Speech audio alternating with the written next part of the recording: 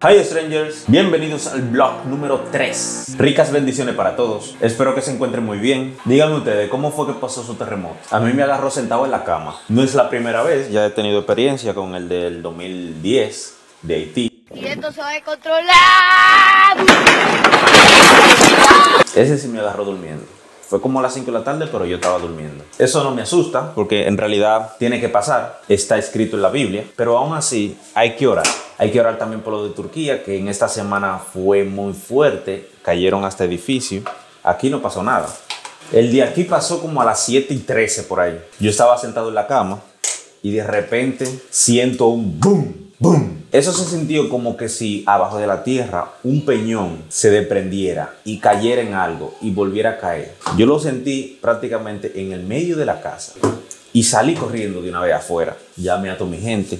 ¿Cómo están? ¿Están bien? Y efectivamente estaban bien. En realidad aquí eso fue un disparate porque ni siquiera las casas se cuartearon. Aunque sí, algunas escuelas dije que se cuartearon, pero tal vez ya estaban cuarteadas. Pero lo de Turquía es más grave aún porque ahí cayeron varios edificios. Hay más de 5.000 muertos, creo, lo que va. En realidad no estoy claro de eso. Pero hay que orar. Y muchos me preguntan, ¿cómo se ora en situaciones así? Porque como quiera tiene que pasar. Las oraciones no es para que no pasen esas cosas, porque como quiera van a pasar. Mateo 24 dice que vendrán muchos en su nombre, engaños, guerra, peste, terremotos. Y esto es principio de dolores. O sea, van a venir cosas peores. Entonces tú no puedes orar porque no pasen estas cosas, porque van a pasar. La oración sería en que esas personas estén en Cristo, porque se nos están muriendo, se nos están yendo de la mano. El vecino se nos muere y nunca le hablamos de Cristo. Y nosotros tenemos que dar cuenta de eso en el cielo. Así que nuestras oraciones serían porque esas personas estén en Cristo, o que le pase a la menor cantidad posible, o que no haya gente dentro de casas cuando pasen esos terremotos. Que Dios nos cuide. ¿Estamos preparados para esas cosas? Estos sucesos finales van a pasar así de rápido. Miren que en el 2020 entramos en pandemia donde pasamos hambre y va cronológicamente, o sea, hambre, peste, crisis, terremotos, o sea, todo va cada vez más rápido y va a ir más rápido. Y la palabra de Dios dice que el fin será como una mujer en parto cuando está dando a luz, que los dolores serán cada vez más, más, más hasta que dé a luz. Entonces, los problemas van a venir más, más, más, más hasta que Cristo venga. Entonces, ¿qué estamos haciendo? ¿Estamos perdiendo el tiempo? ¿Nos estamos consagrando? ¿Qué tal si me dedico a hacer solamente videos? ¿Qué ustedes piensan de eso? Yo tengo familia que mantener, pero el justo vivirá por la fe. El justo. Porque es que en serio, gente, yo tengo varios trabajos, entonces tengo que soltar uno, porque uno me quita mucho tiempo y el otro puedo manejarme. Yo no puedo vivir de YouTube, porque yo tengo planeado hacer ciertas cosas con el dinero de YouTube y con el del botón de gracias que está por ahí abajito, que la gente dona. Con el primer pago, yo lo que pienso hacer es eh, poner una valla. Yo le voy a presentar un video que creo que voy a hacer en un rato. Lo voy a presentar. Con el primer pago de YouTube quiero hacer un letrero en grande con un mensaje de la Biblia. Puede ser un mandamiento, no te harás idolatría o, guardar el sábado en grandote, así que cuando la gente pase por ahí sea imposible de, de no notarlo. Entonces, eh, yo trabajo en Colgate. Este es mi cacharrito con el que yo, digo mi Ferrari, perdón, perdón. Mi Ferrari con el que yo trabajo está un poco despeinado, pero y sucio pero es que yo ando en, en calle solitaria, yo ando en calle eh, peligrosa y para que me vean un motor lindo, mejor trabajo en ese Ferrari. Y también tengo el negocio de fotografía que se llama Eten Studio, le voy a dejar el Instagram por ahí para que vean el trabajo que se hace aquí. En fin, yo trabajo visitando a los colmados para arreglarle los productos, darle promoción. Yo soy mercaderista de Colgate. Entonces tengo que hacer algo porque los videos se toman mucho tiempo para editarlo y mucho tiempo de estudio también. Entonces, ¿qué pasa? Que cuando usted prácticamente coge el día entero en un trabajo, que luego viene para el otro trabajo, para luego editar video, eso es demasiado esfuerzo. Entonces, como ya estamos viviendo en los tiempos del fin, prácticamente sería lo más recomendable eh, poner más empeño en la palabra de Dios. Y no importa dónde usted vaya a comer, si usted se queda sin trabajo, para eso está la fe en nuestro Señor Jesucristo, porque Él lo va a sustentar. Entonces, si nos dedicamos a los videos, yo quiero que usted apoye compartiendo el video o dándole like a, los temas de evangelización. También a este, pero más prioridad a los temas de predicar, porque el mensaje es lo más importante. Yo hago este tipo de blog es para eh, YouTube. Si usted no sube videos o si usted lo sube mensual o semanal, YouTube como que te lo va reteniendo. Tiene que seguir subiendo contenido. Y subir contenido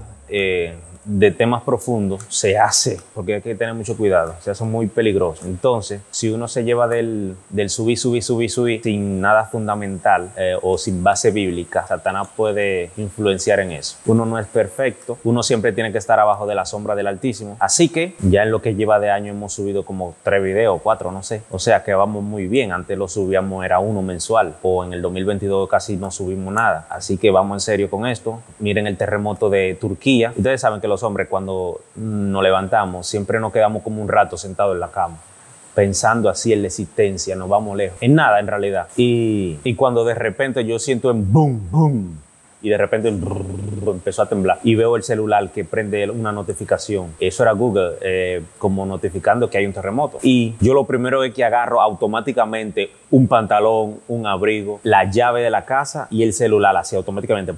Y salgo corriendo y encajo la llave en el candado y salgo para afuera poniéndome el pantalón. Ya cuando yo salí habían gente, ¡ah! Está temblando, está temblando. Y empiezo yo a llamar a los seres queridos, a ver si no le pasó nada, a ver si ya estaban despiertos. Y yo le quiero dar un consejo a esa persona que duermen en cuero.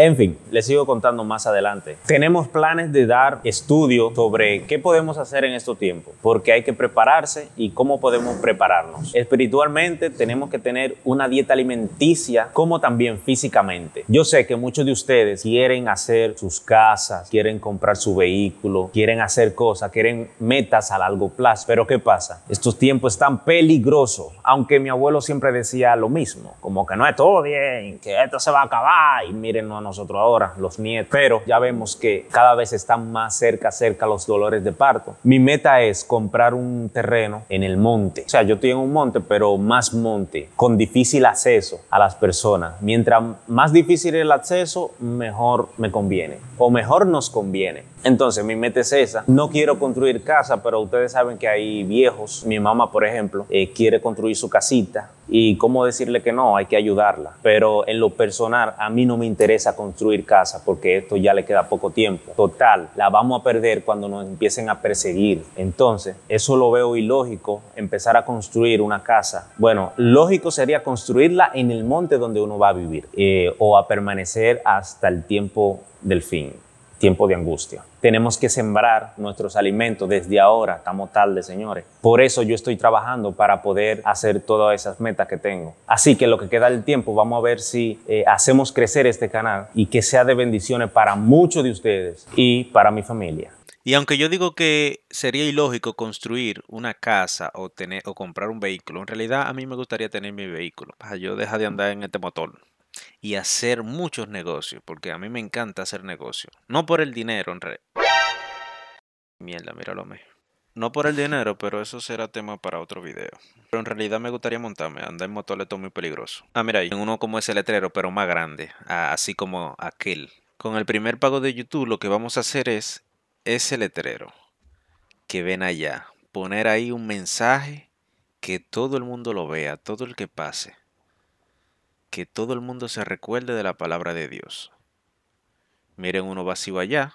No sé cómo uno se contactaría con, las personas, con la persona encargada de ese letrero. Creo que en la esquinita se ve un número. Yo luego me paro y le quito ese número. Y eh, ya yo fui a trabajar, señores. Ah, mira, yo quería enseñarle este letrero de Bani. Fíjense bien. ¿Ustedes ven la N levantada? Eso fui yo. Primero estaba así. Estaba así y luego yo vine y agarré la N por abajo y la alcé. Macho pecho peludo y así se quedó.